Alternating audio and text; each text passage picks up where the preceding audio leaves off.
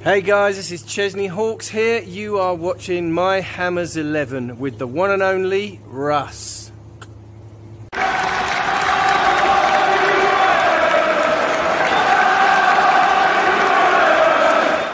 Well, when Ches- when Chesney's back, you know it's going to be a good show. Chesney Hawks, God rest his not rest he's not dead, but good old Chesney. Anyway, Russell West Ham Network. Hope you're all safe and well. Yes, the Chesney Hawks introduction means it's another My Hammers eleven. We've probably had, I reckon, over 500 now. It's mental, over 100 ex players. Everything available on the um, on the playlist below. Um, but today we've, we've got a good one today. Got a good guest today. Um, you know, actor, director, screenwriter. Um, he's been on. Well, yes, he was Jay's dad on Inbetweeners. Yes, he was on The Office. Yes, he was in EastEnders. He's been on everything. He's been uh, Silent Witness. He's even been a cameo role, according to Wikipedia, on the Basil Brush Show. So that that's there we go. He's got the Holy Trinity. But more important than not, he's a West Ham fan. Let's bring him in. Season ticket holder um, and uh, all round big, big Hammer fan. It's David Schaal. How are you doing, Dave? Hey, I'm good. Thanks. Thanks for the intro. yeah, no, no worries. Yeah. Yeah. it was. I, it, obviously, I, I mean, I was looking at looking at sort of the you know the, the bio, and it literally is everything, everything you've been on, everything I've watched, Yeah. you've been on somewhere. It's, I it's did a I did a mate's podcast recently, and he knows that I'm a big fan of Gary Oldman. Uh, Yeah. des- despite the fact he's a Millwall fan. But um, he said to me, "Do you know you got more credits than Gary Oldman?" I was like, "Yes." Yeah. a slight, slightly lower down the food chain in terms of quality, mine are, but uh, you know what I mean. It's uh, it just shows I've been at the game a long time. You know. Yeah, yeah, definitely. No, it's it's great to have you on, David. And obviously, more importantly, is you know, what have you got anything coming up? Us, obviously, we were talking chatting beforehand, and Yeah. you know, work, and you enjoy obviously love doing the work you do. What's what's on the what's on the agenda at the moment? Well, I just went to a premiere on Tuesday night uh, to see a movie that I did called The Trouble with Jessica, and that stars Rufus Sewell, Shirley Henderson, Wow, uh, Indira Varma, Olivia Williams, and um, Alan Tudyk, who's in Resident Alien, the American yeah, TV show. So it's an all-star cast. Uh, Wow. Myself and Jonathan Livingston play policemen in it who are obsessed with this pudding called clafouti. so it's kind of a black comedy thriller type of a Oh, movie. brilliant. And then on May the 9th, I'm in a gangster film called Bermondsey Tales. And that's got its premiere down in South London. Oh, Um, so that's coming out, and then I've got another film coming out called "Miss the Kiss," which uh, I think is coming out a couple of weeks after Bermondsey Tales, another gangster film in which I play Mister Orange, who's the husband of Sadie Frost. wow, Um, yeah, so I've got three big films, and then a independent film called The Can, where I'm the horrible boss of a scrapyard um, and they managed to get eh, most of the main actors are only voiceovers. There's only me and uh, the lead actor Oliver Cruzat who are actually appearing in the film, but they managed to get Steven Berkoff, Shaun Dooley, and a lot of other really well-known actors just to do voiceovers in it. fantastic! Yeah, I love Steven Yeah. Berkoff. I yeah, um, as a as a this is now, now this is sort of revealing the, the fourth wall. As a as a former thespian at school, I was really going to be an actor, Mm. and I was I was actually the first person at my school to get an A star in GCSE drama. Wow, that was so. There you go. You see, but Steven Berkoff, I I loved, I loved, loved his play, loved his acting as well. So, Yeah, do, like you know, plays like East and West Yeah. and uh, you know Harry's Christmas and all. I mean, uh, he did a he did a fantastic production of Metamorphosis that Tim Roth, Saskia Reeves, and the late Gary Olsen were in uh, with with Berkoff. I mean, his plays were incredible. They're like very expressionist, you know, very Yeah. movement based. yeah, So brilliant. yeah, I was a big fan of his. Yeah. And equally entertaining is West Ham's. Uh, see the segue? That was clever. Equally, equally entertaining, not to many, is the West Ham season so far. Obviously, you know, we'll, this will this will be going out on uh, on probably Sunday, so we'd have played Wolves. So obviously, we haven't played Wolves yet, you know, but obviously Leverkusen, we've got Fulham, Leverkusen again. It's a big week, big week, mate. In it, big week coming up. Yeah, I think it's going to be make or break for Europe. Um, I'm still uh, depressed after the Newcastle defeat. You know, where we managed to snatch defeat from the jaws of victory. uh, it was funny to see Man United do exactly the same thing last night. Yep. But you know, that's the Premier League. You fall asleep for five minutes and suddenly bang bang. And Mm. Ashley Barnes, uh, when he came on, I mean, for a start, I thought it was a wrong decision to take Antonio off in that Yeah. game. Uh, and then, ironically, he keeps him on in the Tottenham game when he's not playing so well. So, uh, you know, I, I was a bit. I mean, it was so obvious that as soon as he took Antonio off and brought the disaster that is Calvin Phillips on in the in the Newcastle game, we just completely lost the initiative on the spot. I mean, Yeah. it was it was depressing to watch. I mean, I don't necessarily blame Moyes, but I just think he's, um, you know, uh, what I mean is by I don't blame. I don't blame him for trying to consolidate when we're No, two goals that, yeah. ahead. But he just brought on the wrong player. Phillips is Yeah. so far off it. I think I, I genuinely don't think we knew how off the pace he was when we signed him. Do you know what I mean? I thought, you know, and he's not, you know, he's he's not a shit player. You know, he, I mean, before, you know, he's you got to think he's been in England, set up. He's, you know, him and Dec together were were a great combination for England, and you Yeah. know, Moyes was looking at him to bring him in to probably keep Dec last year. You know, the season before last, before we went to City. But Yeah. um, yeah, it's just. I think there's some people and I'm not one of those people who who are naturally fit and can keep fit even when they're not playing. And and I, don't, I just don't think he's one of those players. I just don't think he's No. he has to really work on it. And so, look, we've got what seven games left with him now, so we won't won't see him in a West Ham shirt. I did. Um, I did a top uh, a podcast with Tony Cottee actually Yeah. a couple of weeks ago, and he was saying about football these days, a bit like Michael Owen said, is that really fitness will get you a long way these days. You Yeah. know, I mean, the game is all about fitness. So Mm. average players can have a career just if they're fit.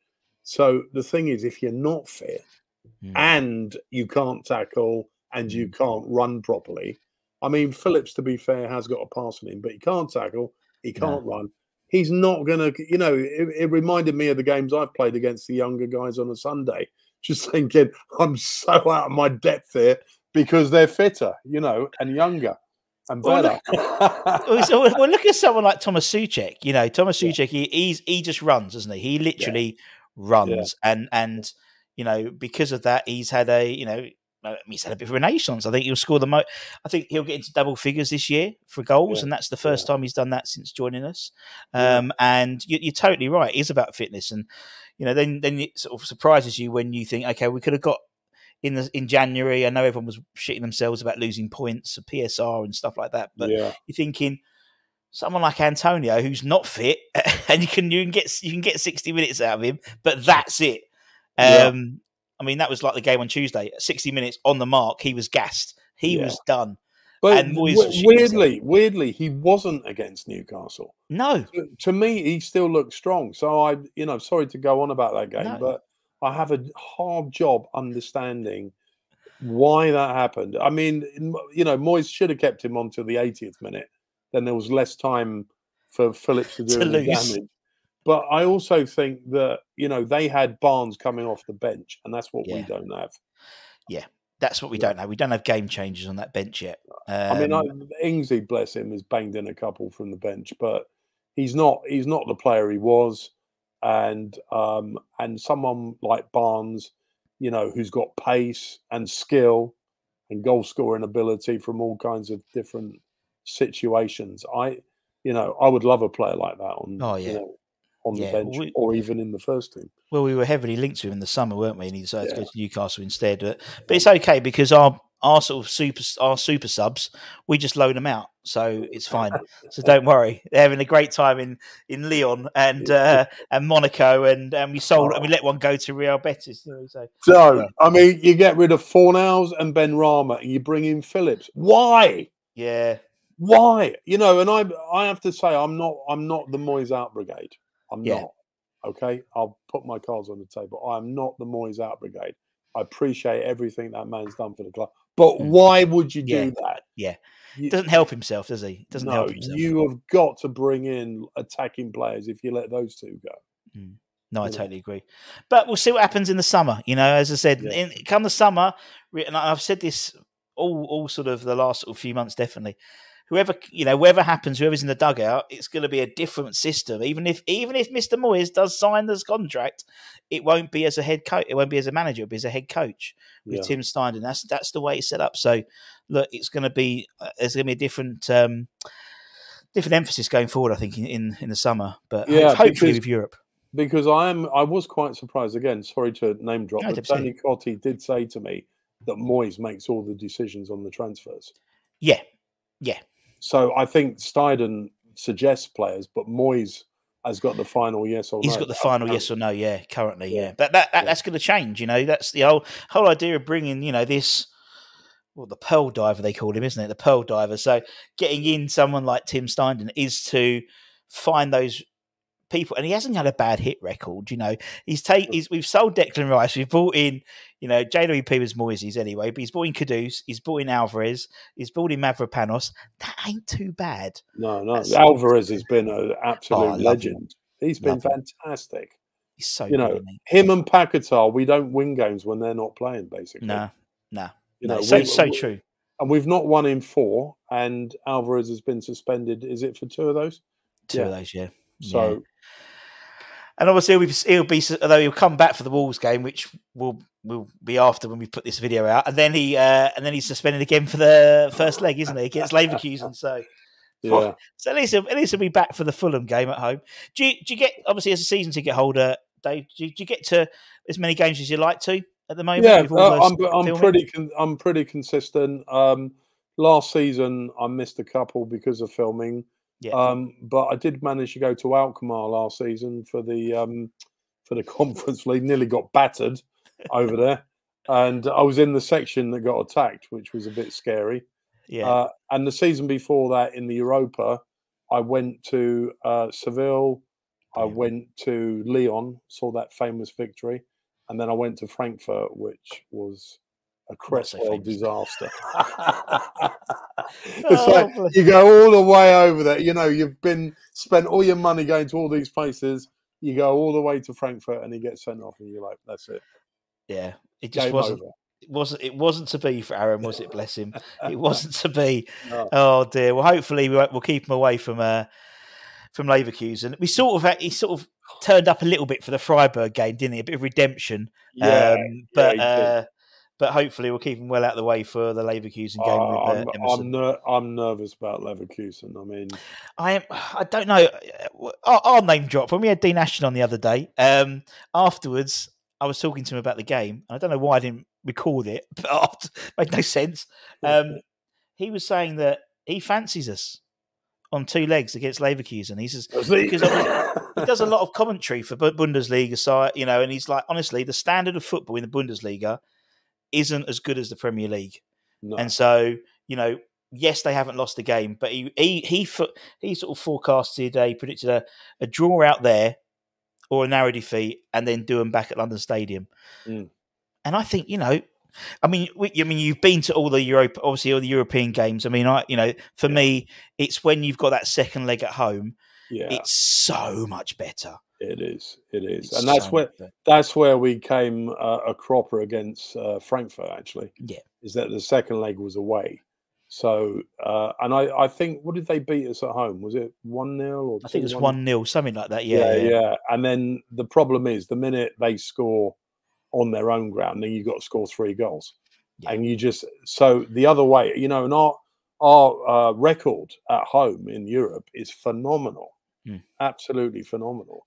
You know, we have had some great away results as well, like Lyon, even Yeah. against Seville. You know, who have won that Europa League seven times. We only lost one 0 out there. yeah, Then uh, Yarmolenko famously hit the winner, didn't he? yeah. uh, amazing that um, was. Yeah, it was yeah. written for him for that winner. But you're totally right. I mean, even that. I mean, that Freiburg game. We were playing Freiburg in, you know, and it wasn't. We already played them, and it was like, you know, in a weird time. It was like five fifteen kickoff, weren't it? But the atmosphere was absolutely phenomenal. It's one of the best ones I've had all season. And and because where I sit, so I sit in the um in that so where the where the dugout is. If you look up, there's a big white box at the top. Oh, so I yeah. sit I sit on the front corner there. Um. So and then when I but it's soundproofed, so our booth is soundproofed. I don't know if it's I don't know if- I don't know if it's a good thing about the foundations, but it rocks. You can I, I, I, I can feel it swaying when the crowd are sort of you know really getting into it. Yeah. And I was like, I was not expecting that atmosphere, and I think on. Thursday after next, it's going to be absolutely buzzing there. Um, yeah, I mean, there's still something in the game. Yeah, all those flames as well, and you know, and West Ham are massive, and Yeah, you know what we are, and all of that stuff. I just think it's gone up a notch even from the first couple of seasons. no, I You agree. know, yeah, Uh, you know, now now we kind of expect to win, don't we? yeah, yeah, we do, we do. I mean, know. that Freiburg game, we we expected to go through, and Yeah. you know, and, and I think obviously, and then you know, potentially looking ahead, and it could be a nice trip to Italy in the Yeah. semis Yeah. What against Roma or Milan? or, or Milan. Yeah, think? that's I mean, like. I don't particularly want to go to Roma because they start stabbing you in the bum with their. Uh, I mean, that's not going to be much fun over there. Um, but uh, but I think yeah, Milan would be Milan would be an amazing. Oh, could you? I mean, I, I've I've got visions of of uh, actually either side. I've got you know if we got through visions of like ten thousand hammers either in the San Siro or just taking over the Colosseum in Rome. You could see with Paolo Di Canio at the front, Yeah. massive, La- massive Lazio player as well. Isn't it? Conducting the chorus. Yeah. No references to Mussolini, but it'll be okay. You know. no, No, it would yeah, be amazing. I mean, Rome's an incredible city. I did a Yeah. TV job out there year before last called Domina, and uh, I spent a couple of weeks out there. It's an incredible place, Mm, you know. Beautiful. Um, yeah, but their fans are a bit mad. yeah, they are. not- Yeah, they are, and I think that's what you get. I mean, you, it, it- that's what I love about the European games. It doesn't matter who you play. I mean, like you got to think, like when we played like Viborg and Silkeborg, and they've been brilliant. Yeah, I mean, all the yeah. opposition. I mean, even I remember the the first was that was the first one. Uh, was it? Uh, was it? Well, I can't remember who it was. But when they threw the um the bottle of water, they had like one of these massive um like water coolers, and so they managed to get a. We can't even take an umbrella in that's more than this big, but they managed to get this massive water. They just started lobbing it over the balcony. that wasn't Anderlecht, was it? Was it? one of No, those no, it was one. I think it was a Polish side Oh, okay. in the fir- Yeah. in the in the in the first lot. I think it might Oh, yeah. I conference or can't remember Like what they're called now. Yeah, you sort of we get blasé to it now, David. You, you're Yeah. some small club in, in Well. I mean, I do think the passion in Europe has kind of taken me by surprise. Yeah. I mean, the French supporters in Lyon, you know, they have two massive ends. And then, Frank, you know, the German fans are uh, incredible. They've they've got some of the best supported clubs. And the Definitely. Eintracht Frankfurt fans were like, you know, letting off all these lights and fireworks. I think it was all rehearsed and orchestrated. But you know, and it, and Seville, you know, it was a really nice atmosphere in Seville. But their fans were really passionate. and what what I love about them is, uh, and particularly I think it's particularly Frankfurt and Seville, and actually Freiburg as well. I think uh, away is all they do is they all wear white. Yeah, So it's like a Yeah. well, it's actually really not intimidating, but it's quite like takes you back. Everyone's in I- white. It's like I think it is a bit intimidating. It's a bit like at Alkmaar, you know, those two hundred so-called ultras. who yes, steamed RN. They're all dressed in black hoodies. yeah, and yeah. and there were a lot of young kids, but there was one older guy, and when I say older, I'm thinking late thirties, who was kind of orchestrating it all. I mean, it was it was quite scary. I I actually think the Dutch have got a bit of a issue around hooliganism, which is ironic because we always used to have the problems, and we're now the ones who are becoming the victims. uh, Oh well, it's it's it's it's a it's a first world problem to have, isn't it? Because now we've got Yeah. European, now know. Europe, and hopefully again next season we'll see. I, I suppose it's you know there's about three or four teams chasing for those last couple of spots, so we'll see what happens. But hopefully we have European football. Is next it uh, seventh or eighth place? Are we? Are we It- getting at the moment place? it's yeah at the moment it's seventh is the is a stop off, but then there's all the if that that's as it is at the moment. I think if man if if City win and us or Liverpool win or Aston Villa, then we get more points and everything gets But are dropped we, down. Are we not getting like five teams in the Champions League, Yeah, and then something yeah, something like Yeah. that. And then if West Ham if West Ham win Europa League, then there'll be six teams apparently, which oh wow, which is the first. It's the most ever a club that a country has had it. So, look, Well, well, you know, you know, people have accused us of uh, winning the Mickey Mouse Trophy, you know, with the conference thing. yeah, If we win it this season, no one no, can one- say we've had an easy ride. yeah. you But know. then, but then, will Moyes carry on because he would have the opportunity to be the first manager ever to win the conference, the Europa, and the Champions League in successive seasons. That's Oh, the question. I think he'd, he'd have to. If he wins the Europa, he's got to carry on. I think I think that I think if we get to the Champions League, I, I'm I'm considering retirement from from being the, the the butter monkey as Sean calls it because that would be my you know for a match day DJ playing the Champions League music is like I've got we've got this crap one for the Europa League and the conference it Yeah. doesn't work ooh, ooh, but playing the Champions League music Yeah, that's yeah. that's it I can't I can't you know then bubble that, that's That's you doing the DJing at every European game, is it? Yeah, yeah, yeah. No, no. Oh, So. I no. So I'm the, I'm the so I do the. That's Tony. Tony Perry. He's the one down the front giving it. The, Oh, yeah, yeah, yeah. you know, Yeah, I love yeah, I, I love Tony. He's, right. he's s- n- nicest man in football. He is. He's beautiful man. No, I'm I do the uh, everything else. So like all bubbles, and I've been doing that for twenty three years now. right. So sort of the assistant assistant assistant to the announcer. You know, that's, that's Yeah, basically yeah, what it yeah. is. But yeah, so that would be me. Oh, I might have to retire after that if we got to the Champions League, but I probably won't because the wife quite likes the fact that I'm out of the house every Saturday. Um, Well, right, the- let- let's, yeah, go on, go on. I was just going to say, I was going to say, the chances are we'll be playing Liverpool in the final. So yeah, yeah, exactly. Jurgen Klopp's last game and uh, in Dublin. Um, yeah. I, I've I found out I'm actually on holiday that day uh, now, so I'm away for the champ. I didn't realise until the other day. Um, so I'll be watching it with the Dubai Hammers uh, instead in the pub in Nelson's in the middle of uh, Media City in Dubai if we get through. So yeah, there are worse places to watch it. I was, I was. it sounds a bit like Dublin. Yeah, I was filming for the Prague final, so I watched it at the ground, and it was rocking. It was Oh. absolutely rocking. It was a great atmosphere there. Amazing, in it? So it just and it's it's just it's I think it's just amazing how you know with something like 30, 35, almost forty thousand people out there, and the fan park and. And Chesney, God bless him, giving it the old big un. You know, I'm the one and Yeah. only on stage, and uh, Amazing. yeah, and then there's obviously go, taking it back to Stratford as well, and you know, I was brilliant. there. I was there for the trophy presentation amazing. Stratford. Yeah, we queued up for about four hours to, well, not queued up, but you know, hung around Yeah. for four hours waiting for them, and it was great. It was amazing, Ama- Yeah. amazing experience. Yeah. Anyway, let's talk about let's talk about be- before last season. Let's talk about you know the beginning, so to speak, the, the origin story of, of of why David is a hammer. Why? Why? Well, it's a really my background is a bit weird because uh, my dad uh, was American, God rest his soul, and uh, my mum was English, and my mum hailed from Essex, uh, and all her family used to live in South Ockendon.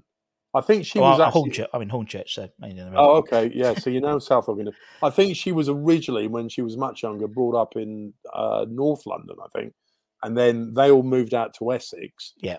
and all of the family were always West Ham supporters. I think my my mum's uh, father actually was Tottenham, uh, so we used to have a lot of uh, you know like uh, push and pull around the football. But I would always sit down and watch the football with my granddad, despite him being a Tottenham fan.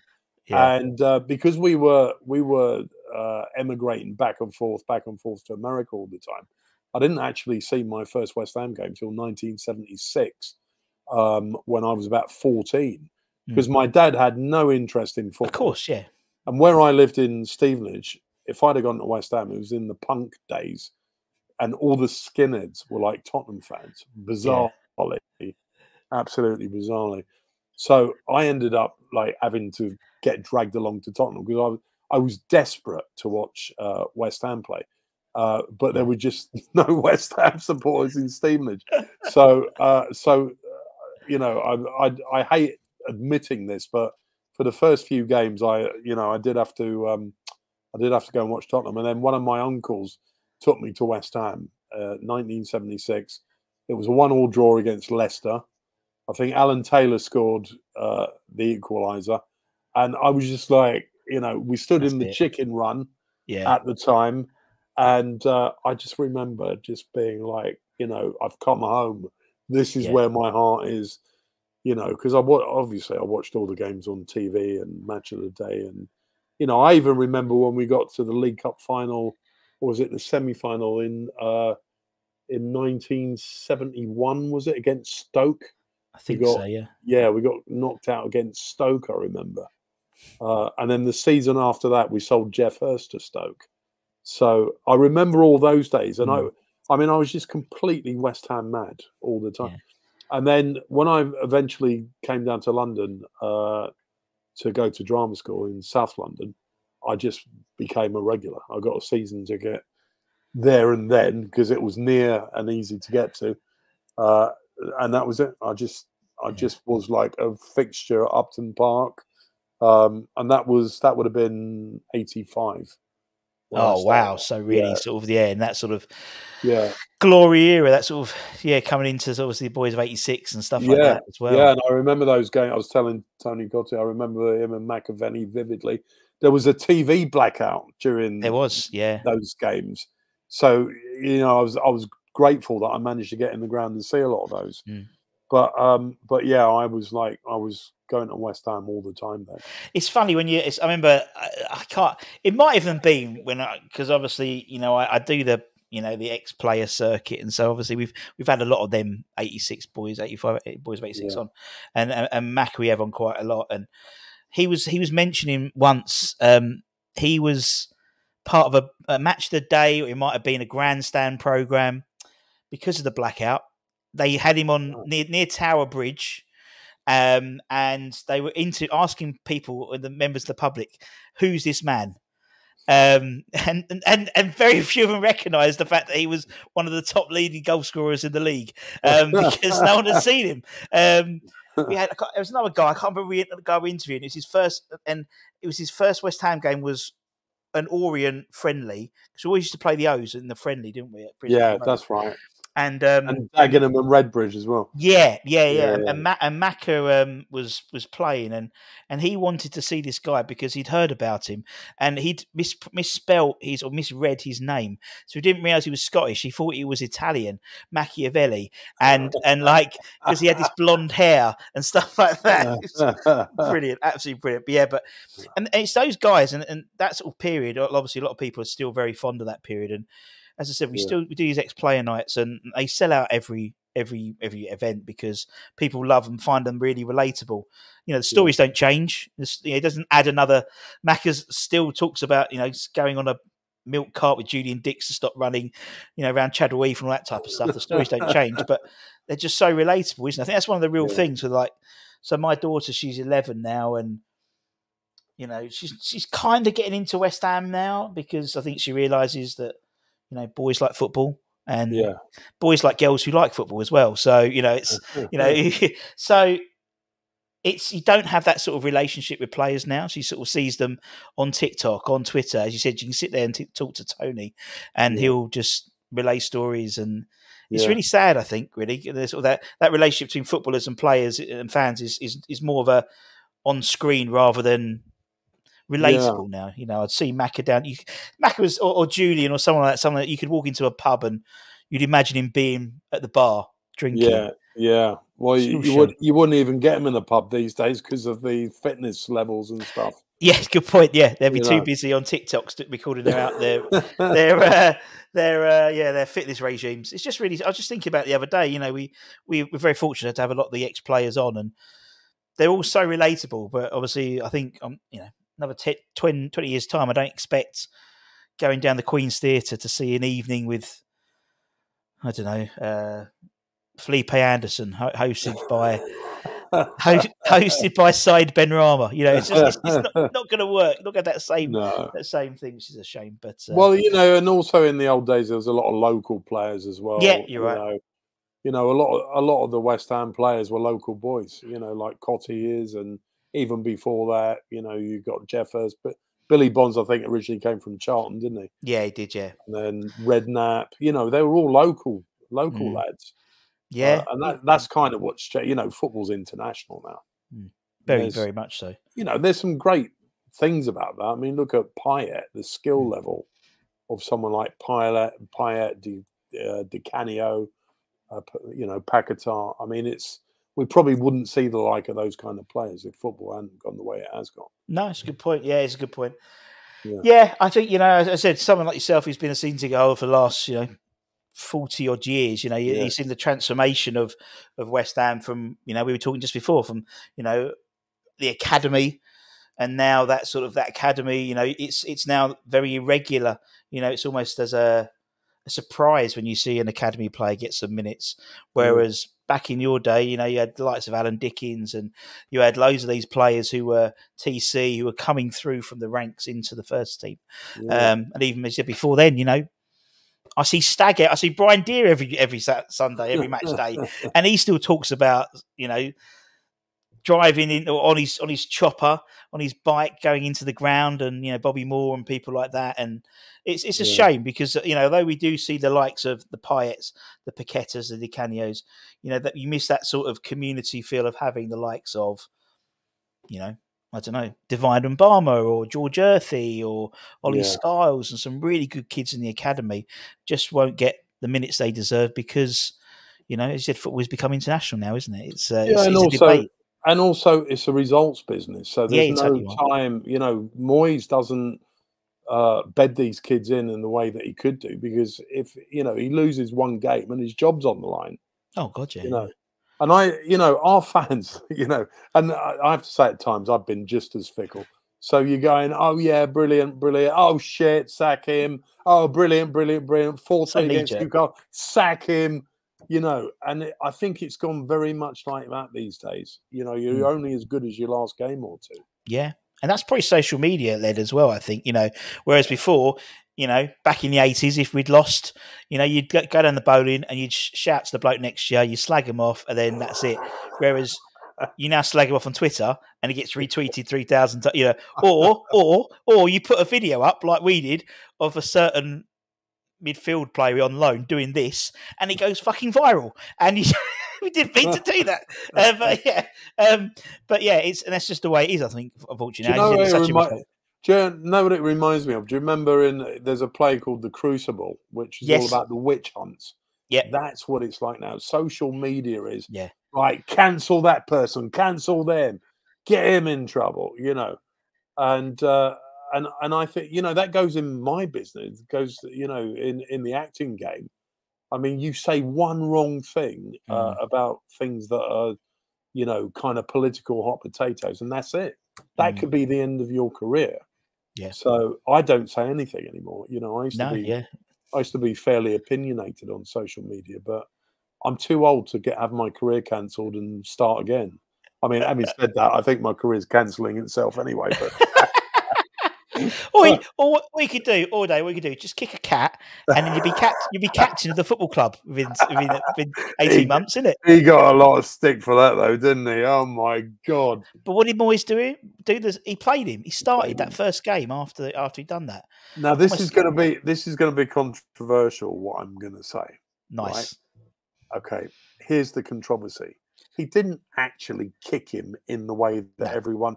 That cat slid across the floor. it wasn't a flying drop. It took a dive.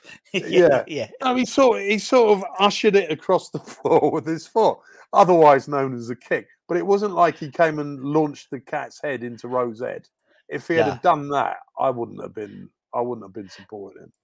No, it was. Uh, yeah, uh, it was. It, again, it's it's social media, isn't it? Once social media gets involved, things get exaggerated. It's like we put that video up, and then like Sky Sports and bloody Talk Sport and everyone saying now, you know, West Ham fans were hanging around after the game and abu- you know shouting abuse at him, and it wasn't. Someone literally, he got on the bus, someone shouted out "useless," and he went "fuck off." That's literally all he did. But it became. It became that he fights back against the hate of the. No, it wasn't. It's like me. It's like someone saying, "Oh, right." It's like literally, I you know, I might overcook, overcook the steak, or, or my daughter goes, "What? Oh, this is awful. I'll piss off." You know, that's literally all that happened. But um, yeah, it's Yeah. uh, social media is a it's a strange place. It's a strange place. Yeah. But as I said, since since obviously the eight since uh, obviously the eighties, season ticket holder, seen a lot. Is there any is there any games that you go that just front of mind when you think about you, you know, going to West Ham. Obviously, you speak about some of the European nights at London Stadium. We spoke about that, Yeah. but in in the in the old days or in the Upton Park days, any games you go, oh, I mean, you know, I remember watching Man United West Ham when Wayne Rooney was playing, Mm. and we got absolutely annihilated by him. I think the the score was like four one in this particular game, and Rooney was like at his absolute height, and also Ronaldo was playing Oh. uh, for United then. Watching him play, yeah, uh, and also um, Liverpool when we we lost five three, I think it was when Rushy and Aldridge were oh, playing for Liverpool. Those games really yeah. stick in my mind. And then, of course, you know, obviously the cup finals. I mean, starting with the 2006 one against Oh. Liverpool, which is a heartbreaker. And Yeah. I, I was there for the playoff final when we beat uh, Preston at Yeah. the Millennium Stadium. I got banned from driving because I, got- I got lost on the way there. So I was doing like 100 miles an hour through these villages. and I remember, so I had no idea where I was. I was using this TomTom sat nav yeah, and um, and it had gone completely wrong. It was taking me the wrong. So I I poked my head out the window and I said to these kids, thinking I'm never going to make the game. It's probably on the other side of town. Can you tell me where the ground is? He went, give us a quid. Give me a quid, Boyle. So I gave him a quid. He said it's literally down the road. I thought they're lying. I drove down the road. There it was, parked. Up. I legged it all the way, and I got there just as the game was kicking off. So brilliant. I re- I remember that vividly. It took me about four hours to get there, and uh, so there's games like that. You know, obviously the cup finals of um, eighty and seventy five. I Mm. remember. You know, so many games. So many. Yeah, I mean, I remember, I remember seeing, I remember you, when you mentioned sort of about Rooney and Ronaldo. I remember seeing Arsenal when Arsenal was sort of a Thierry Henry in their pomp, and I Oh, remember yeah. him at him at Upton Park, and he was the most.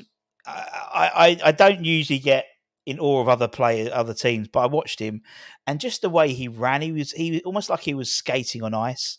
He was so fluid. It was it was amazing. But um, yeah, we've seen some good players. We've seen seen Messi, obviously when we played Argentina. I remember seeing him there, and Oh, uh, yeah, some some yeah. amazing players that graced the pitches. But uh, yeah, some good games. And obviously, famously, the last game of the season, last game at Oh, Upton Park. Yeah, obviously that was Man United. Yeah, cracking Yeah, game that was. Was it three one? We beat him. yeah, I think three one or three two, something like that. Yeah, and yeah. um, Great. yeah, remember that? Yeah, I was on jury service that day. That was that was Oh, hilarious.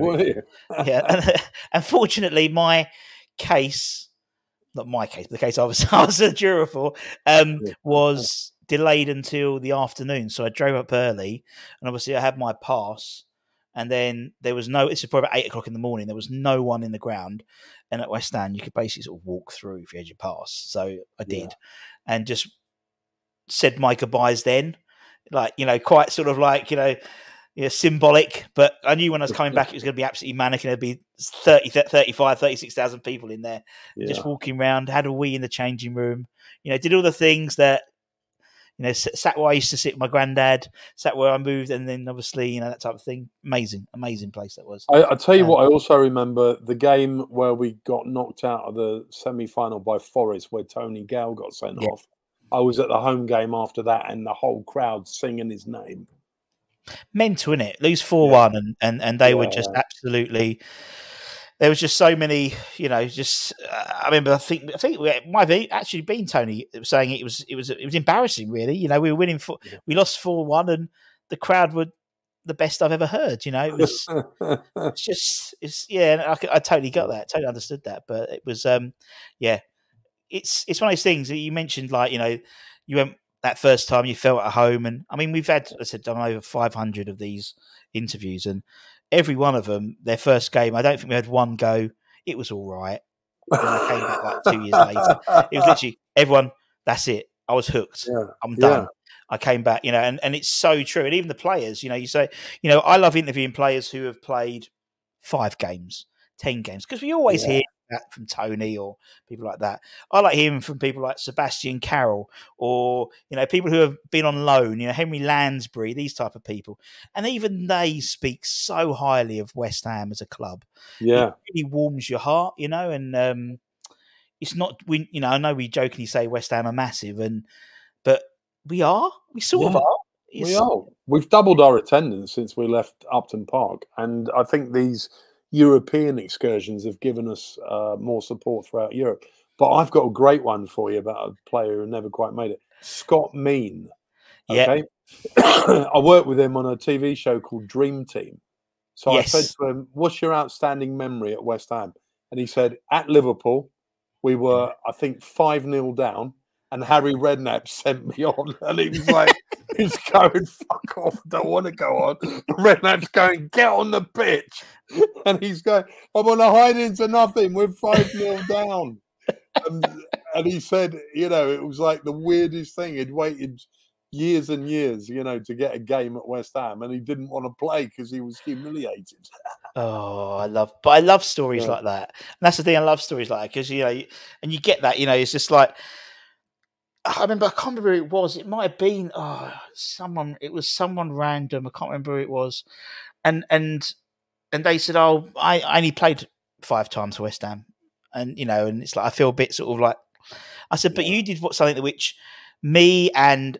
Millions of people would have changed their whole life to do once. You walked out wearing West Ham colours to Bubbles, Upton Park, or whatever, and it's Yeah. just such a such an um, you know it, it, from a fan's perspective, it is an amazing club. As you said, you know you probably get people all the time coming up to you, you know, and asking Yeah, for I do. pictures and stuff like Yeah. that, and it's it's just such a lovely club, and, and that's what I love doing these interviews because you interview interview people and you share your passion with someone else, and it's it's sometimes it's quite emotional because you're talking to people and they they talk about you know obviously losing loved ones and things like that, and Yeah, it is really but West Ham is the- is the thing which keeps sort of this thread throughout it all. It's it's an amazing um it's an amazing club, and I don't think people realise it unless you're in the bubble. no, Um, and I think I think you know if you go to those European nights and you Mm. see that that's West Ham at their best. That's the passion. Okay, there's the bad games like against Burnley when we went three 0 down, and there was pitch invasion and everyone giving the ball.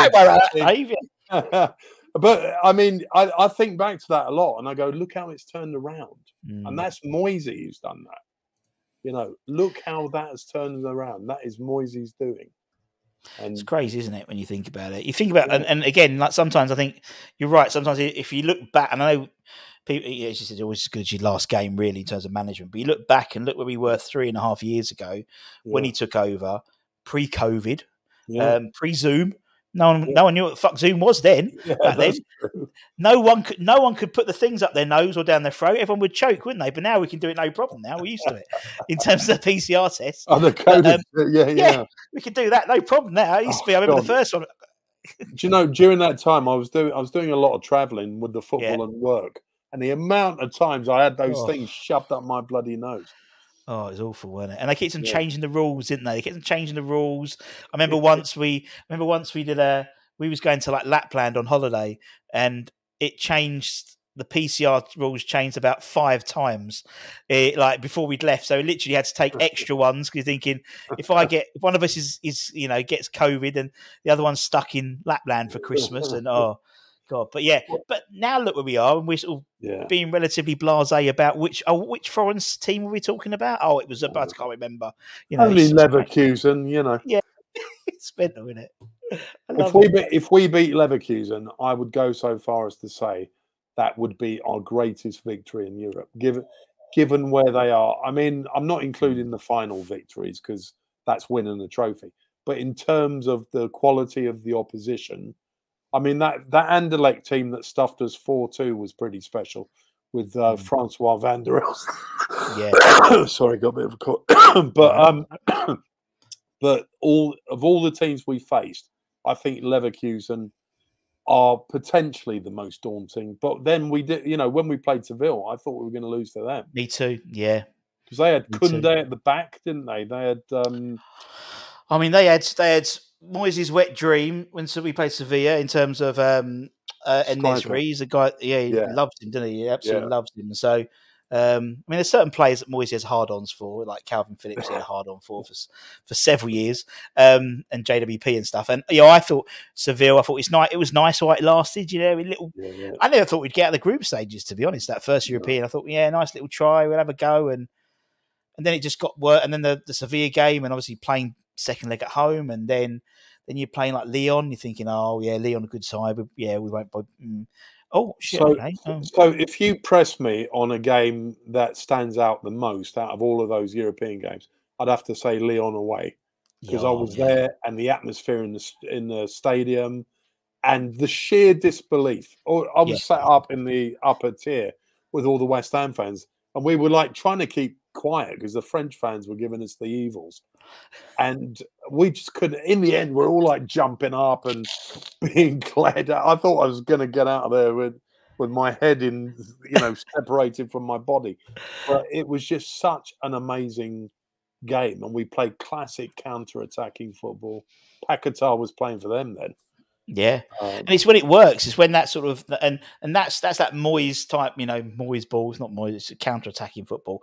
yeah, When it works, it that's when it works perfectly, and it it, Yeah. it sort of almost like fits and starts. It works how we intended it to work, and that was one of those games. And obviously, Yeah. that was that's what cemented, you know, Ballon Dawson as Ballon Dawson when it when BT Sport put it on the thing, and it's like even they were Yeah. taking the piss, which I thought was absolutely brilliant. Uh, Absolutely brilliant. he, he was a revelation. What was he? Two million quid from Watford. Yeah, I, I remember getting Watford fans messaging me saying, "Thanks for taking our worst player."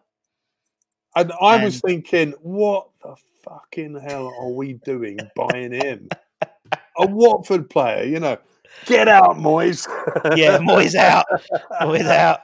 But yeah, yeah, he turned out to be a but legend. that's what I love. I love, I love being proven wrong. You know, it's like you know, we we yeah, we all think we're armchair experts, and you know, to be honest, you know. You know, we we sit you and me sitting on a podcast. You're sitting in front of a, a webcam talking about West Ham, not at the chat, not at Rush Green doing the training. You know what I mean? And Yeah, yeah, I think exactly. we're, we're a lot of a lot of us are armchair fat, armchair critics and stuff. And when it Yeah. works, it works. And when I love getting proven wrong, and um, he proved us wrong about Craig Dawson. And in Yeah. fact, I think he's one of the reasons why we're letting in a lot of goals recently. I don't think we've got. I think we need a Craig Dawson. yeah, We need someone like that. I, where I thought actually it was Zouma or Ged or, Ogbonna, whoever he was playing playing with, made Mm. him a better player. I think it was the other way around. I think he was making those players better players. And um, Yeah. Christ, we need someone like him now. I think to sew up this defense. It's so yeah, because. Mavropanos has got a ricket in him, and Zouma's knees Yeah. are basically gone. He can barely run. Um, you know, but Zouma, forget considering he's got those injuries. oh, last week, still- amazing. He's, he's still an absolute stalwart at the background. yeah, yeah. you know, and, And that, uh, I mean, that, that Spurs game, it's like, where did Yeah. that performance? I was, I was absolutely dreading the fact he'd played on Saturday. It's Tuesday. You're playing against Heung-min Son. You're playing Yeah. against Kulusevski, yeah, Brennan Johnson, and he had Son in his pocket. yeah, yeah, Amazing. He's a great defender. If, if he hadn't done his knees in, I think he'd be absolute top draw still. Totally agree. Totally Yeah. agree with you.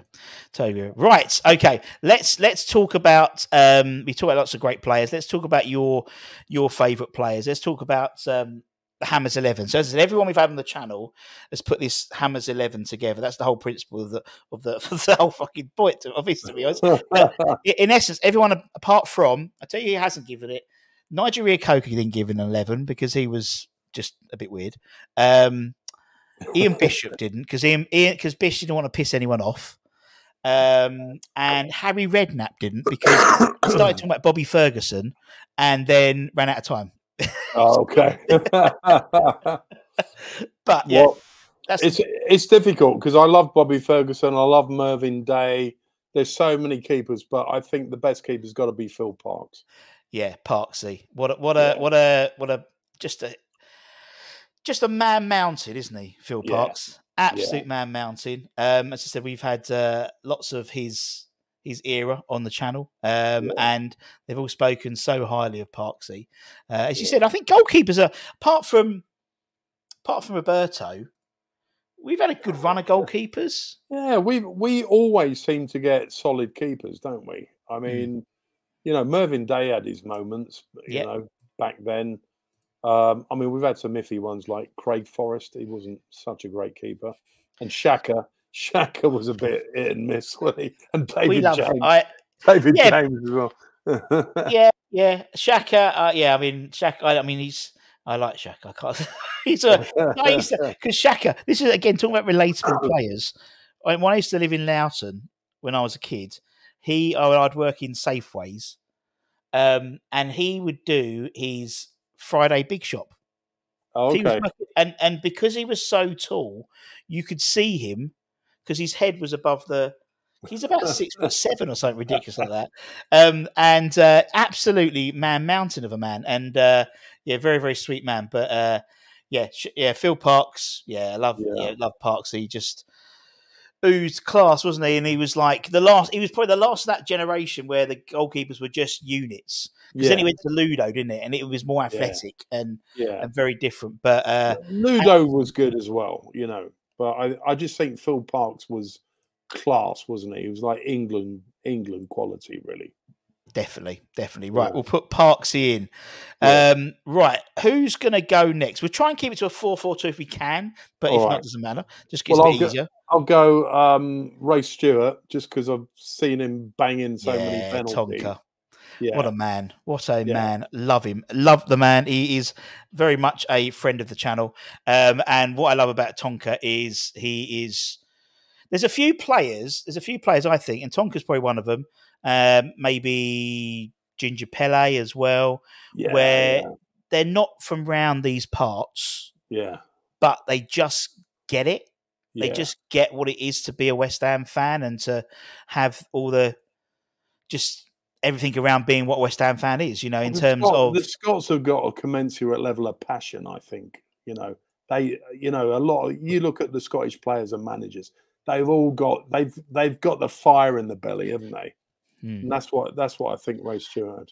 That's what it is, and you're right. And then just those penalties, wasn't it? Just, Oh, just yeah. couldn't. No one, no one hits them anymore like that, do they? they all try and be clever and do these panenkas and try Yeah. and chip it in, and he just bit Gotta like, put- you got to put your foot through it, a bit like um, Piercy.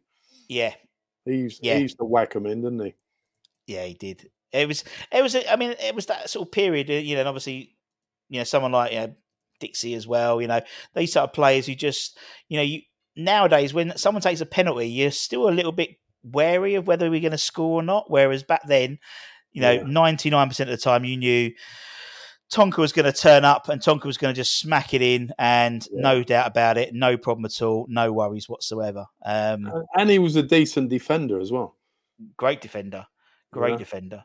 Um, and but he was a defender. Do you know what I mean? It was like yeah, nowadays you get f- full, fullbacks and yeah, they're more known for being attacking rather Yeah. than actually defenders, which is the wing the wing back thing. Yeah, yeah, which is the job of a defender is for him to be Yeah. defender.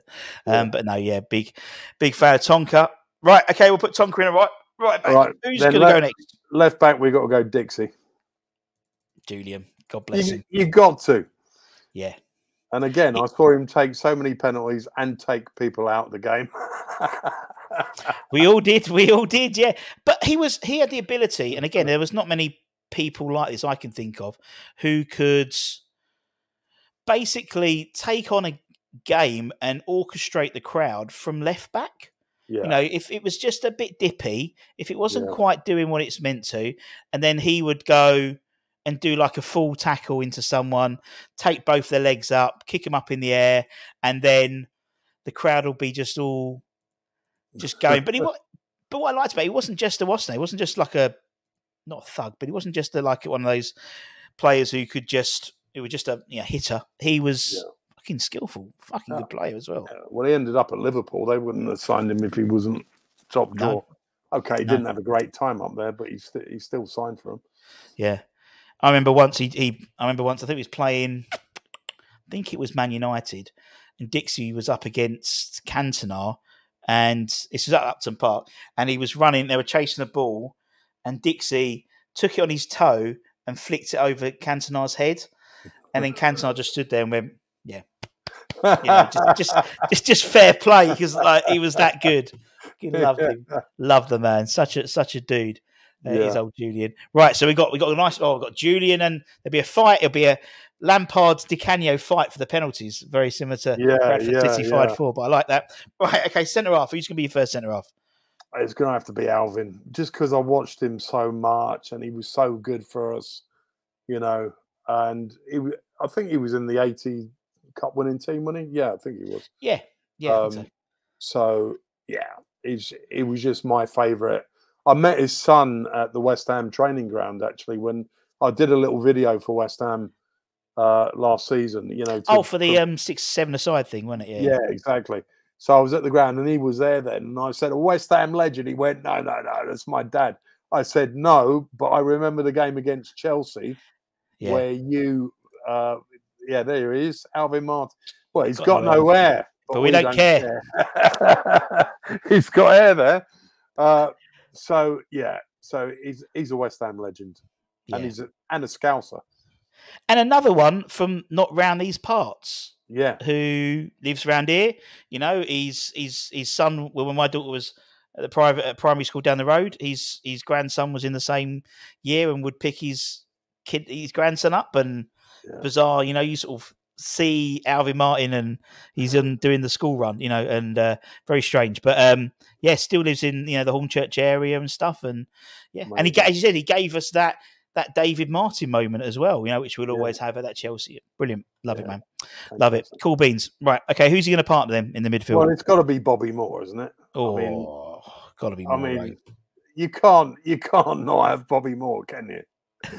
you know, there's a there's a lot of central defenders I could have chosen. You know, Yeah. Tommy Taylor uh, was was up there for me as well, but you know, Bobby Moore's the, legend of the club, isn't he? yeah, he was. He was. And as you said, you know, you, you know, you, you were you were alive. You were alive during his time because you Yeah. know, 60, Yeah. 63, wasn't he? He was born. I think. I was Something born in '63. There we go. um. I remember him playing for Fulham against us in '75.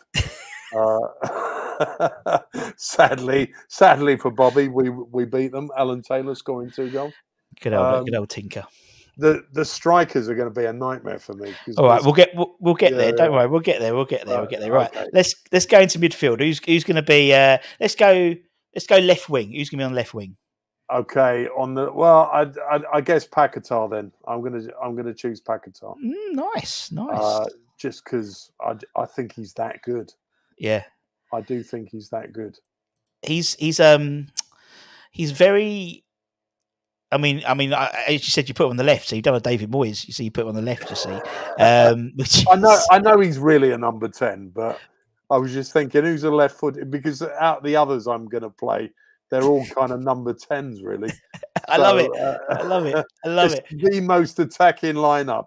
And by the way, Declan doesn't make it because he left for Arsenal. So not not that I'm bitter, but I'm picking I'm picking my favourite West Ham players. Love it. No, I love it. Okay. I, uh, I mean, I uh, for the first six months, I've referred him on the channel as former num- as number forty one, the former captain. I refused to call him Declan Rice until about six months, seven months in. I thought, oh, okay, do you know what? I'll call him Declan Rice now. But he was the former captain, number forty one. Um, yeah, Lucas, he's, he's, he's a different different kettle of fish in it at the moment. Absolute quality. Absolute quality. And then Love uh then we got uh Alan Devonshire. Oh, Devonshire, what what a love, what a lovely man, what a lovely man old Devo is. Absolute top quality he was. five five grand. You know, he cost us From absolute steal. Southall, wasn't it? Or Yeah, South, yes, Southall, yes, Southall Motors, wasn't it? Yeah, Or yeah. yeah. something like that. Motors. Yeah, yeah, that was it. Um, five grand, and uh, yeah, what we what he wouldn't be like in today's money, you know. Oh, Yeah, and that's the thing. You talk about you talk about the likes of, of Devonshire, and obviously, you know, what what I loved about Alan. You know, obviously, I wasn't I wasn't really I was wasn't old enough really to see him play as such. I was still still a pup, really, but talking to him and talking to his teammates and stuff like that. You know, obviously, he got injured in that sort of the. It was almost like Dev. One and Dev 2.0, and after the injury, and Dev 2.0, he came and completely reinvented himself as more of a tricky. When it, Dev 1.0 was very quick, fast winger, and Dev 2.0 was didn't have the pace, but he had the skill. And um, but doing that, what he could do on, I look back at I think was it Chelsea beat Chelsea four 0 at Stamford Bridge in the 85-86 season, and they, it was literally like a mud bath, and he could still be that skillful. It, it- it's it's incredible, absolutely incredible what they can do. The pitches with- were with- terrible back in those days, and the players still were really skillful. Yeah, You know, that's what's extraordinary. and he had a good moustache, which I think is something which is uh, part of the game which is lost now. You know, I Yeah. mean, not being look, it's like beautiful, beautiful moustache, Very And- underrated that Tash. and the shirt as well. I used to that was a that was a really good shirt, really nice shirt as well. And yeah, yeah. could have done with a haircut, but don't matter. Um, bless him. Right, we'll put Devo in. I'm like Pac- Paquetá and Devonshire in the same side. it's going to get Oh, better. Here we go. Who's next? Trevor Brooking. Oh, How can you not have Trev? Sir Trev. Sir You Trev. gotta, you got to have Trev, haven't you? You've got to you've got to have Trev. He's uh yeah, Yeah. again, what what, what a wonderful man, wonderful Yeah. man he is, and uh, fantastic. And again, you know, you know, look again. Could you imagine the likes of Dev and Trev on the bowling pitches that these players have now? It's you know, in terms of just the pitch, it's so fantastic, and what they could do be outstanding, absolutely outstanding.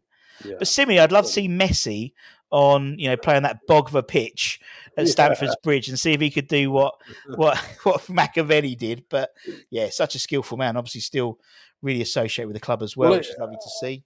And also in the 70s, he, he basically single handedly kept us up season Yeah. after season, didn't he? I mean, if it hadn't been for him, we would have got relegated a lot more than we actually did, you know. Yes, yeah, very true. Um, Love it, yeah.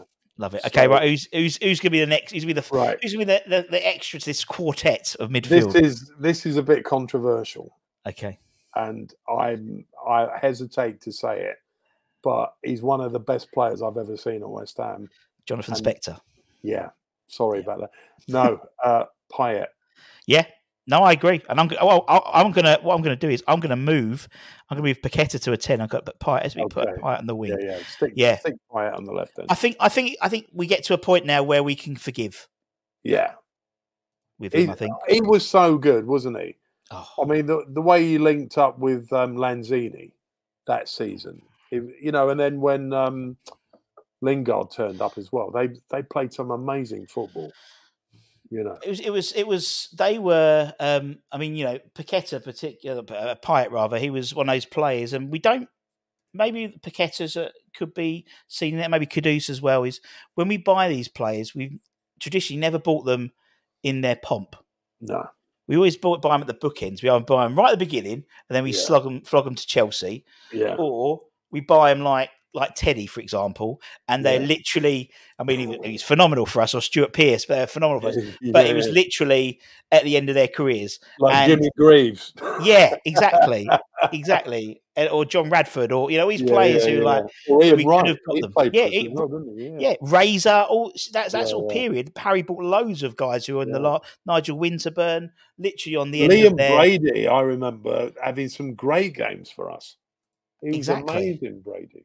And he was, but he was, but he was literally on on the last of his last of the last innings, weren't he? Bless him. But same with-. But Payet was one of the ones who literally we got bang on that period where he was Yeah. that, and he hasn't. Obviously, he's, he's had fits and starts since then. He's playing in Brazil at the moment, um, Vasco da Gama at the moment. Yeah, um, but he in those two seasons, eighteen months, where long we had him, he was one of the best players in the world. Yeah. and, It broke, it broke my heart when he left. I have to Yeah. say. Yeah. But I don't. For some reason, I don't feel the same antipathy towards him as I do Rice. But it's probably Yeah. because Rice is more recent, isn't it? he's one of our own, though, Dave. Isn't he? That's why, Yeah, isn't he? He's one Academy boy, one of Yeah. our own. Yeah. Despite the fact he was at Chelsea until the age of fourteen. Now I was Um, tempted. To, I was tempted to put Martin Peters in there, but I never really saw him play. Yeah, So I've got to. I've, I think I've got to mainly stick with the players that I've seen play. Yeah, and I think that's and that's that's that's the Yeah. idea. Otherwise, I think what happens with these things because we've done over five hundred of them, everyone Yeah. would pick the same eleven, really. Yeah. So I'm just uh, uh, plugging my uh, computer in before he dies. okay. Yeah, exactly. Exactly. I mean, there. You know, you could choose a lot of players from the, that '60s team. You know, Oh, yeah. Ronnie, Ronnie Boyce, Sissons. You know, at, at the back you could have had John Bond. You know, yeah, um, there's a lot. There's a lot of there's great loads. players There's from loads. that era. But I'm Yeah. I'm trying to stick with the ones that I actually Yeah. saw play. Keeping it, keeping it, keeping it real. I like it. I like it. Right up front, then we've got a problem. You said so. You got a Oh problem up front. So we've got. Well, the two so- the two most obvious are Cottee and McAvennie for me. oh, I they thought I was going to say Ilan and David Di Michele, but it doesn't matter. Andy Carroll and uh, and Chicharito. How about them? Yeah, and uh, Jonathan Calleri, Calleri. Yeah, Marco Boogers. How about him? Uh, He's the only man. He's the Marco Booz is the only man who's turned me down for an interview. really? He's the only man, yeah, I and we have a, why. we we do have quite a funny chat on like you know on the Insta. But he's the only man who's ever turned me down for an interview. One day How's, I your, will get car- how's your caravan, Marco? All right, mate. It's probably why can't get good signal. These ca- most caravans don't have Wi-Fi, do they? So that's the issue. Um, but so it's it's basically for me. It's got to be Cottee and McAvennie, but Geoff Hurst as well. So uh, that that's the dilemma. Because I did actually uh, see Geoff Hurst play for England, albeit on the telly. So I did see him play, and he won the World Cup for us. he did win. Uh, did he win? The, did we win the World Cup? I don't know. Yeah, We kept yeah, that one yeah, quiet, yeah, we? Yeah. Did you not hear that? Yeah, yeah. Apparently we won the World Cup. you know, there's there- we've had a lot of decent strikers down the years, like we, you know, Alan Taylor, uh, who we signed from Rochdale. Um, yeah. you know, banged in those. Oh, it's loads. There's there's loads. You can go through every era, and you've got good. You know, go Yeah. go. You know, pre pre Cottee and Mackie. You can look at you know David Cross, and Yeah. you know, I mean, he banged in. Yeah, Pop Robson. Um, you know, you've got you know, then you go into the nineties. You've got you know, I, I mean, that's my era. I've always got a soft spot for that 92, 93 Yeah. promote. So like Morley, you know, they they were my Yeah. guys. Um. Be, oh, I love, yeah, Yeah, love, yeah, love, love yeah. and he's such a lovely guy when he's when he's down, and Did- all that, all that lot, love him. Did you ask uh, Trevor Morley why his wife stabbed him? Do you know what we've had? We've had plenty of, we've done plenty of stuff with them two together, him and Bish, and they're so funny. And he, he's funny. There you go. tell Yeah, I- me I- the real story. I've got to know. I texted him the other day, right? I texted him the other day to do, if you wanted to do something, and he went, "Yeah." And and and, and, and on a side note, I was I was my, my brother did did like a when, when he was young, when he was at school, did this one of these sort of um, you know, they do those hidden camera shows, and and they get like a presenter like surprises, and he, they surprised him at school, you know, and it was Dave Benson Phillips, you know, a big sort of TV Yeah. presenter. This was years. This was about twenty years ago, maybe twenty five, maybe it was thirty years ago. And uh, we, we found the video clip on YouTube, so I sent it to Bish and I sent it to Trev, so I thought he might find it quite funny. And he went, "I've just shown my boyfriend," and so and I realised he was in Spain with Ian, and it was just but he still talks about it. It is hilarious. It- we had we did an ex player night a while ago, and um, who was the? I think Tony Gale was the compare, and it was Bish. No, it wasn't. It was Trevor Morley, like Stag. I think Cottee was there. Um, Crossy was there, and I think that was it. And Morley was like, uh, and Morley, as I said, and, and Tony Gale went right. Okay, obviously you've got some very, you know, esteemed colleagues here. Tony Cottee, you know, player, young player of the year, 1985. Um, eight boys of 86 scored the, the goals with, with McAvennie. David Cross won the FA FA Cup with West Ham. Mm. Brian Dear, we got the European Cup winner finalist. And Trevor, you scored a goal in the FA Cup against Farnborough Town. Tell us about it. And went, oh, fuck off. I was at that game because it, it was a replay, wasn't it? What? I was at the game. I think it was a header. I think he nodded Yeah. it in with his head, and it was like, finally, we got rid of these fuckers. No, but I love it. It was so funny. But yeah, Yeah. yeah. I remember that game vividly. So Apparently- boring. apparently- So apparently boring. So, and apparently, uh, he was telling me afterwards, Trev, that when he came back from from the stabbing, and obviously came back from the injury, um, he was obviously off. wasn't at West. He wasn't working at West Ham for a couple of weeks while he was recovering. He came back, and the first time they went, he went into Chadwell Heath, and the, in the dining room there was no knives. Basically, Julian had hidden all the knives, so there was not a knife to be had in the whole. That's Oh, I love that stuff. So Has- funny, Has man. he ever told you the true story? He hasn't told me. He told me. He told me the story that of him and Bish when they got found in bed. Oh, right. And- and- But- and but that was- and- true. Well, it was, but it it was true in the respect of he was, and again, he's he's spoken about this quite openly. He was watching. He was. I think Bish had stayed over that night, and he was. They were reading. He was reading the paper, and Bish basically got like was reading the paper with him, like got in, you know like I mean, they share a fucking bath together. Do you know what they do? These kids, you know. So he sort of got in next to him to read read the morning paper, and a bloke was cleaning the windows and saw him in bed together, and then that's what started the rumor. You know, he's like now on Twitter, it'll be a picture. Yeah, exactly. It was a window cleaner apparently, and there was, but apparently his wife was a bit weird. He's yeah, but Trevor lives in uh, Norway now. He's oh, a wow, he's he? a he's a yeah he's like he does he's like their version of Gary Lineker in Match of the Day. wow. Yeah, random Wow. random lives, and, and, Yeah, and Bish and Bish lives in Florida. Wow. Oh, uh, um, just going back to our team, I did before I forget, I did want to give an honourable mention in midfield to Yossi Benayoun because he Oh, he was it was close. his birthday the other day as well. So Oh, was it? yeah, Yeah, he was close because he he gave me a lot of pleasure during that era where we had decent cup runs and. I mean, the problem is with those teams, we're always flirting against relegation. And we were. It was part of that sort of. Uh, I mean, now I mean it's, I've had- we're in the top we're in the top flight for the longest ever period. I think. yeah, of yeah, our history now. So you were that sort of period, like night, you know, we sort of went down, came up. Obviously, we had the Preston, Preston one, but obviously the year before we'd obviously got to Cardiff again, lost to Crystal Yeah. I still don't play if I ever DJ for like a friend's wedding and someone requests Glad all over. I still don't play it because I have this sort of like PTSD of like forty thousand bloody yellow people Oh, jumping to it there. But anyway, um, yeah, and then obviously we went up, and then obviously Pards took us up, didn't he? And yeah, yeah. then we had the FA Cup, and we had a, you know a good good bunch of players then, and then Should have won that game. Yeah. Lionel Scaloni is all I'm saying. Lionel, we had Dino on the other day, and we were talking about it quite a lot, quite extensively. And he was, and we when I've interviewed like I know, he threw or- it. He threw it straight to Gerrard, didn't he? just he, like- he- he threw it into play. He just went Yeah. rather than go down the line, he threw it into play. And it's like What are you doing? He said that he, would have.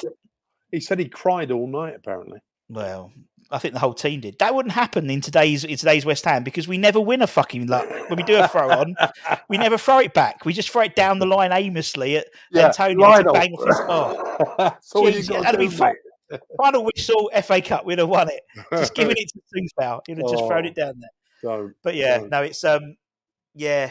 I mean that. Yeah, you're right. We sort of flirted, didn't we? Then we obviously, then it was, then it was Curbs, and obviously we had the Great Escape, and then we had Yeah. uh, Avram, and we had sort of um, Zola, and Avram Grant, and we went down, and yeah, yeah. Oh. Lou Macari was around the just before Zola, wasn't Uh, Lou Macari was well before. it. Lou Macari Was was, uh, yeah, he was, he he? was Yeah, before. yeah, he was- on- he was he bought Bish and um and uh, he bought Trevor Morley and, and Ludo in actually as well. He, he Yeah. bought some really good players in, then then just wasn't very good by all accounts. Uh, I was, was too busy gambling. And, Um, and also, I do want to say as well, I haven't forgotten about Joe Cole or Frank Lampard. But if if you go to Chelsea, There we go. You ought to say if you go to Tottenham and go to Chelsea, you're out of the daily eleven. Just, yeah. is the So Defoe's word of warning. Defoe, no. Cole Lampard, no. Um, Ince, no. As good as he was, no. Oh, Paul Ince. Yeah, Will we ever will we ever forgive and forget with Paul Ince? I just don't think we ever will, will we? It's quite funny, isn't it? I was talking about that. I was talking to someone about um, West Ham players and why we hate certain players and things like that. And and I mentioned Paul Ince, and they went, "What?" And I explained to them. They went, "Really?" And I went, "Yeah." They went, "I can see why you hate him now." I was like, "Well, I don't even. I wasn't even around really. I was." I wasn't young, old enough to still, but same with Frank Lampard. Frank Yeah. Lampard will, will come back twenty years later and still get Lam- booed. To be honest, I've got a lot of sympathy for Lampard because all the fans were getting on Redknapp's back and saying it's nepotism and big fat Frank. Our fans were singing to him because he, you know, he had a bit of puppy fat on him in those days. I, I found it hilarious. Frank. Even now, they shout Fat Frank to him. You're thinking, I'm not being funny, right? You all fit into a three XL shirt, and you're telling, you know, and I'm telling him it's big fat Frank. You know, it's like, yeah, pot caught in the kettle black. But um, But Yeah. those four players I mentioned are four of the Oh. great, and along with Rio as well. You know, again, if Rio hadn't have gone to Leeds and then Man United, all of those players would have been in with the shout.